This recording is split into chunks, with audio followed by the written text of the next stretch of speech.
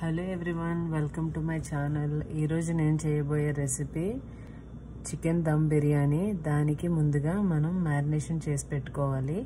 అది ఎలా చేయాలో let start the process. First ఒక టూ నిమ్మకాయ చెక్కలు పిండి స్క్వీజ్ చేసేయండి. నేను తీసుకున్న చికెన్ వచ్చి హాఫ్ కేజీ.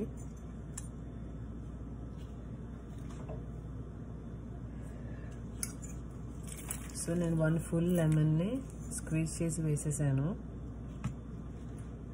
ఇప్పుడు దీంట్లో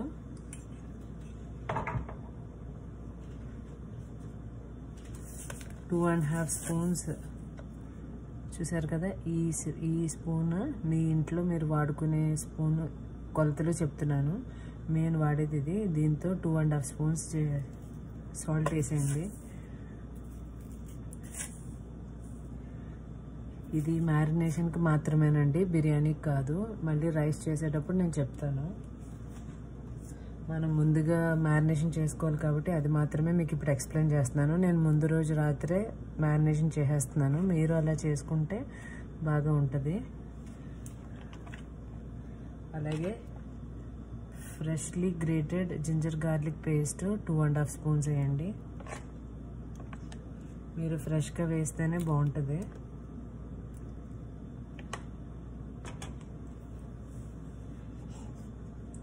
వేసి ఫస్ట్ దీన్ని కలిపేద్దాం.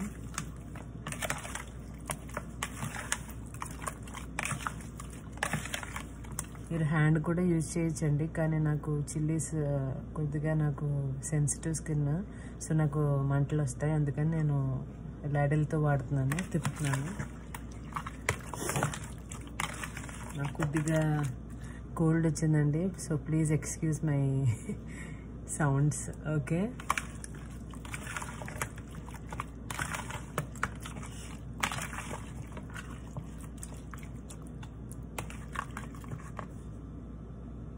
చూసారు కదా?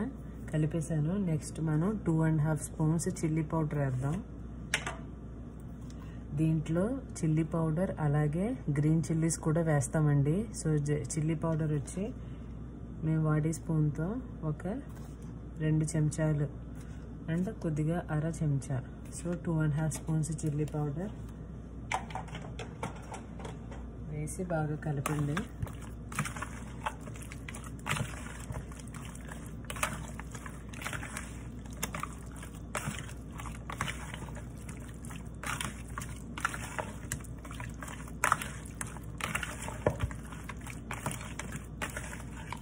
ఇది పూర్తిగా నా సిగ్నేచర్ రెసిపీ అండి. చాలా బాగుంటుంది. మీరు ట్రై చేసి తప్పకుండా ట్రై చేయండి మీరు.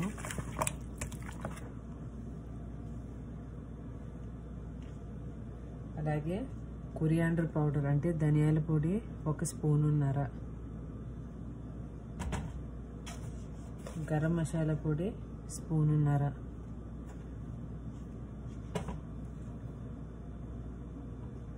జీలకర్ర పొడి ఒక స్పూను. వేసి బాగా కలపండి.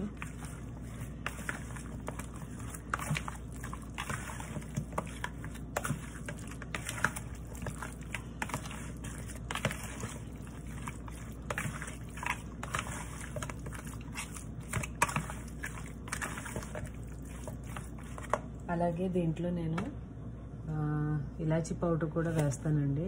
నేను ఎప్పుడు రెడీమేడ్గా చేసి పెట్టుకుంటాను ఇలాచీ పౌడర్. సో అదొక స్పూన్ వేయండి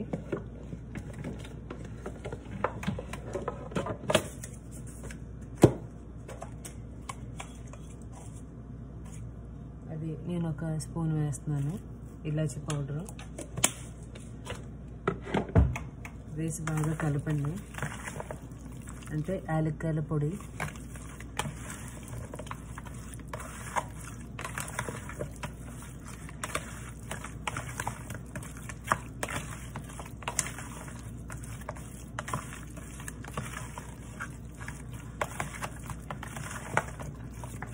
చూసారా? స్మెల్ అయితే అద్దరిపోతుందండి ఇప్పుడు దీంట్లో మనం హోల్ గరం మసాలా ఐటమ్స్ వేసేద్దాం.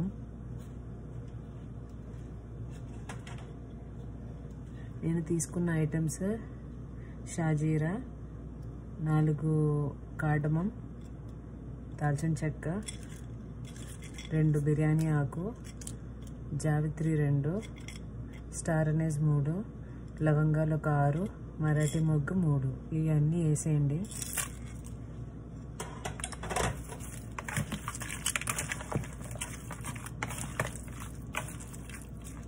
వేసేసాక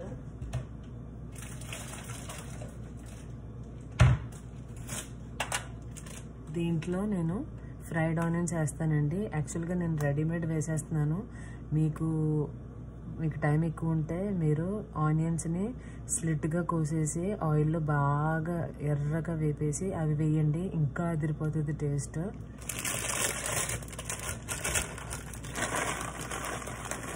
సో చూసారా? ఇలా ఒక రెండు గుప్పిళ్ళు వేసాను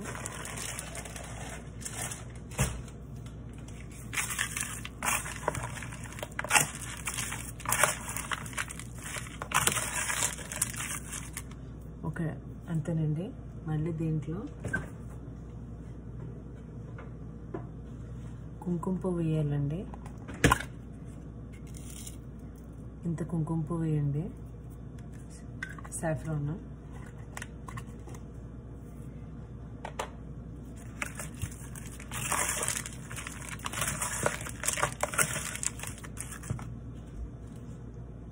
అలాగే ఒక నాలుగు స్పూన్లు ఆయిల్ వేయండి కుకింగ్ ఆయిల్.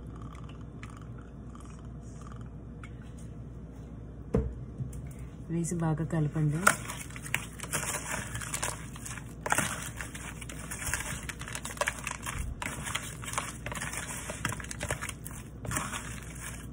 ఇప్పుడు మసాలాలన్నీ బాగా కోట్ అయిపోయాయి దీంట్లో మనం రెడీ చేసి పెట్టుకున్న చిల్లీస్ వేద్దాం గ్రీన్ చిల్లీస్. ఈ యొక్క పన్నెండు తీసుకున్నాను. అలాగే మింట్ అండి పుదీనా అలాగే కొత్తిమీర.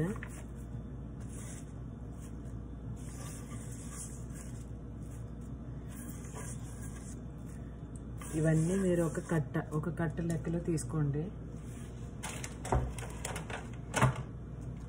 వేసి బాగా కలపండి.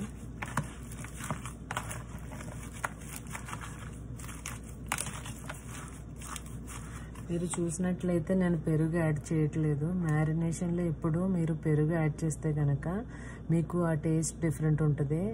పెరుగు ఇప్పుడు యాడ్ చేయకుండా మీకు నేను రేపు బిర్యానీ చేసేటప్పుడు చూపిస్తాను. అప్పుడు యాడ్ చేస్తాను. టేస్ట్ చాలా బాగుంటుందండి. నేను మ్యారినేషన్లో అయితే పెరుగు వేయను. నేను మీకు ఏం చేస్తానో రేపు చూపిస్తాను. నెక్స్ట్ వీడియోలో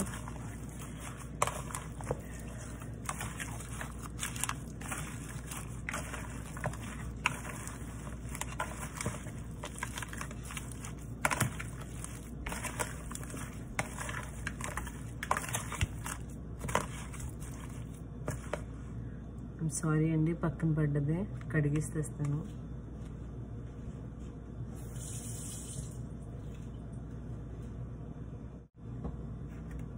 మ్యారినేషన్ చేసిన చికెన్ ఇలా లిడ్ పెట్టేసి మీరు డీప్ ఫ్రీజ్లో పెట్టకండి కిందనే పెట్టేయండి మామూలు ఫ్రీజర్లో పెట్టేయండి.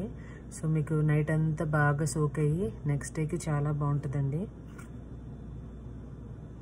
ఓకేనండి బిర్యానీ ప్రాసెస్ స్టార్ట్ చేద్దాం. గిన్నె పెట్టుకుని వాటర్ సగానికి పైగా పెట్టుకోండి. రైస్ ఉడికించడానికి దీంట్లో ఒక టూ స్పూన్స్ ఆఫ్ గీ వేయండి నెయ్యి. నెయ్యి వేసి బాగా కలపండి. బాగా కలపండి. ఆ తర్వాత అలాగే నెయ్యి తర్వాత నేను four to five spoons oil కూడా వేస్తున్నాను దీంట్లోనే.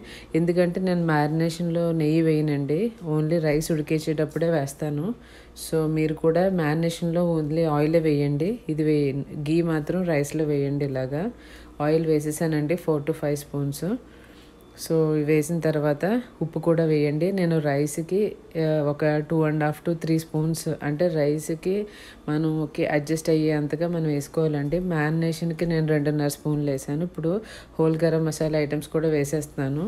లవంగాలు దాల్చిన చెక్క యాలక్కాయలు అలాగే స్టార్ అనేజు జావిత్రి షాజీరా బిర్యానీ ఆకు వేసేసానండి. వేసిన తర్వాత అలాగే లీవ్స్ కూడా వేసేయండి. కొత్తిమీర కరివేపాకు అన్నీ కొద్ది కొద్దిగా రైస్కి మట్టం వేయండి. అలాగే ఒక ఐదు చిల్లీస్ కూడా వేయండి దాంట్లోనే.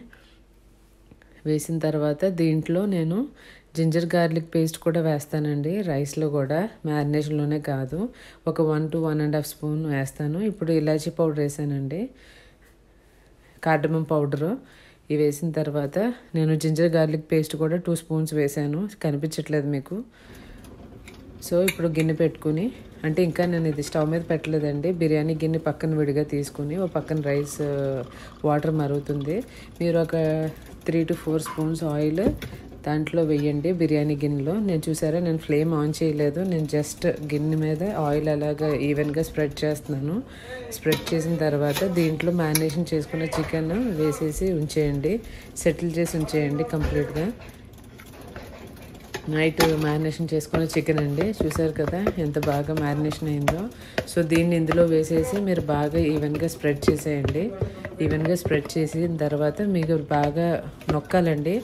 మీకు స్పేసెస్ ఉండకూడదు. అలా వేసిన వేసినట్టు ఉండకూడదు. ఈవెన్గా స్ప్రెడ్ చేసి నొక్కాలి. సో మనకి గ్యాప్స్ లేకుండా ఉండడం వల్ల అది బాగా కుక్ అవుతుంది ఈవెన్గా లేదా ఒక చోట స్పేస్ ఎక్కువైపోయి అన్నీ ఒక చోటకి వెళ్ళిపోతాయి. అలా కాకుండా చూసారా నేను ఎలా నొక్కుతున్నాను చికెన్ని అలా మీరు నొక్కుతూ నొక్కుకుంటూ ఈవెన్గా స్ప్రెడ్ చేసేయండి మ్యారినేషన్ చికెన్ చూస్తున్నారు కదా? బాగా చేసిన తర్వాత ఇది ఈవెన్గా స్ప్రెడ్ చేయండి మీరు. సో చూస్తున్నారు కదండి? దీని తర్వాత నేను పెరుగు అనేది నేను ఇప్పుడే వాడతాను. నేను మ్యారినేషన్లో పెరుగు వేయను. ఇప్పుడు నేను పెరుగు వేస్తున్నాను. ఇది ఒక చిన్న స్పూన్తో ఒక నాలుగు స్పూన్లు పెరుగండి. అది కూడా పలుచగానే వేస్తున్నాను. ముద్దగా వేయట్లేదు. అంతా పట్టేలాగా ఒక చుట్టూరు వేస్తున్నాను. ఒక నాలుగు స్పూన్లు. అంతే. పెరుగు మనం వేసి కలపకూడదండి. అలా పైన వేయాలి. మీకు తెలియదు మ్యారినేషన్ అయ్యాక మీకు అది కుక్ అయ్యాక ఇదేం కనిపించదు మీకు. సో ఎక్కువ పెరుగు వేయడం వల్ల మనకి ఒక రకమైన పులుపు స్మెల్ కూడా వస్తుంది. సో అందుకోసం నేను ఇలా వేస్తాను పెరుగు మ్యారినేషన్లో వేయకుండా. అంతేనండి. ఇది అలా చేసి పక్కన పెట్టండి. ఈలోగా రైస్ మరుగుతుంది చూసారా? నేను రైస్ వేయడం చూపించలేదు. బాయిల్ అయి- అయిన వాటర్లో నేను రైస్ వేసేసానండి నానబెట్టు అరగంట నానబెట్టుకున్న బాస్మతి రైస్ వేసేసాను. సో మరుగుతుంది చూస్తున్నారా? ఇప్పుడు మనం దీంట్లో ఒకసారి ఉప్పు చూసుకుందామండి. ఉప్పు అనేది ఎప్పుడు మనం ఆల్రెడీ మ్యారినేషన్లో వేస్తున్నాం కాబట్టి దీంట్లో ఓవర్ ఉప్పు వేసేయకూడదు. అప్పుడు మీకు టూ మచ్ సాల్ట్ అయిపోతుంది. సో మీకు ఎలా ఉండాలంటే మనం అన్నం కూర కలుపుకునేటప్పుడు మనకి ఎలాంటి కాంబినేషన్లో మనం తింటామో అలాగా ఈవెన్గా ఉండాలండి రెండిట్లకి. ఎక్కువ ఎక్కువగా ఉండకూడదు. ఏది ఎక్కువైనా మళ్ళీ ఉప్పు కసం అయిపోద్ది. సో ఓవర్ సాల్ట్ అయిపోద్ది. మనం అది అడ్జస్ట్ చేసుకోవాలి. రైస్ని నేను almost ninety five percentage cook చేస్తానండి. ఎందుకంటే మనకి దమ్ పెట్టేటప్పుడు మళ్ళీ పలుకులు పలుకులుగా ఉండిపోయినా అది అప్పుడు కుక్ అవ్వకపోవచ్చు. సో నేను నైంటీ ఫైవ్ పర్సెంటేజ్ కుక్ చేసేసి ఆ రైస్నే నేను వేస్తాను. సో బాగా బాయిల్ అవుతుంది చూసారా రైస్? నేను కొంచెం వాటర్ ఎక్కువ తీసేసుకున్నాను. యూజువల్గా ఇంత అవసరం లేదు సగానికి తీసుకుంటే చాలు కుక్కర్కి. అంతేనండి.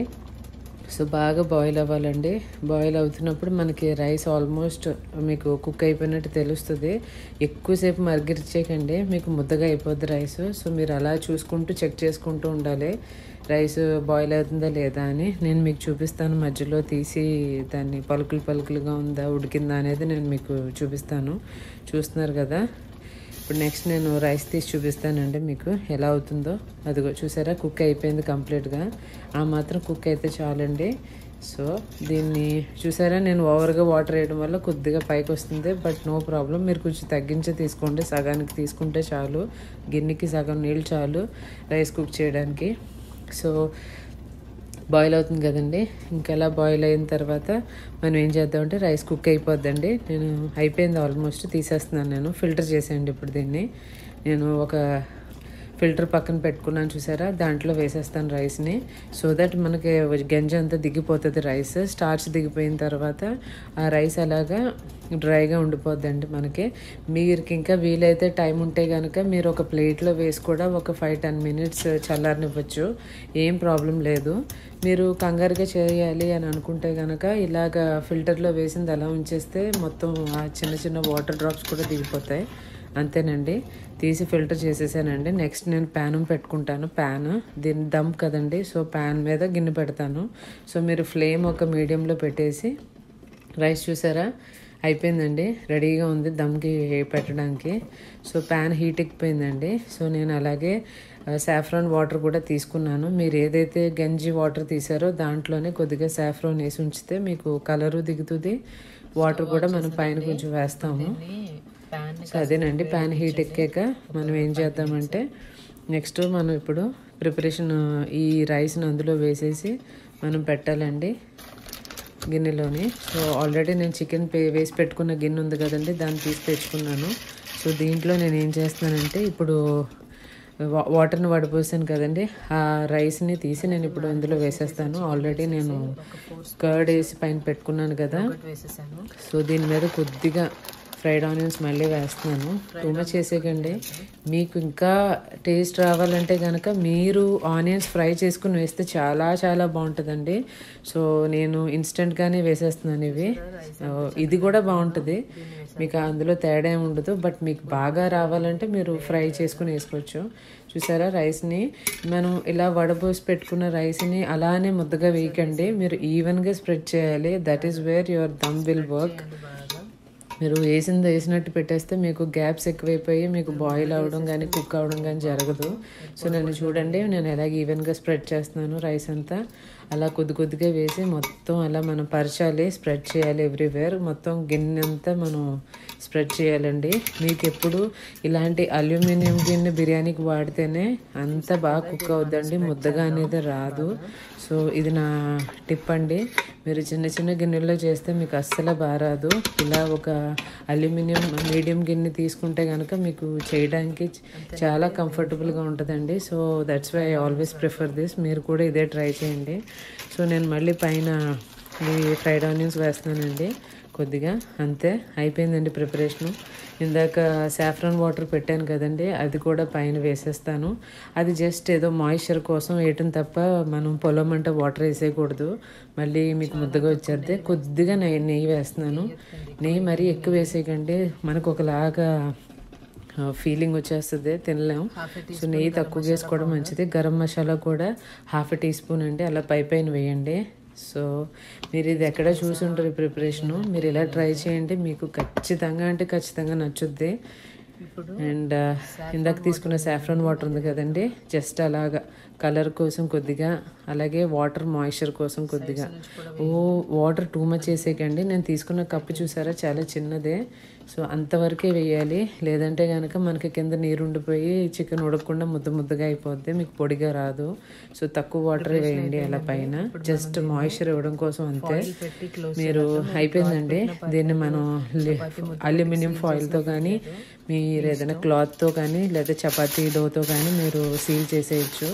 నేనైతే అల్యూమినియం ఫాయిల్ పెడుతున్నాను. మీకు అస్సలు గ్యాప్స్ అనేవి ఉండకూడదండి.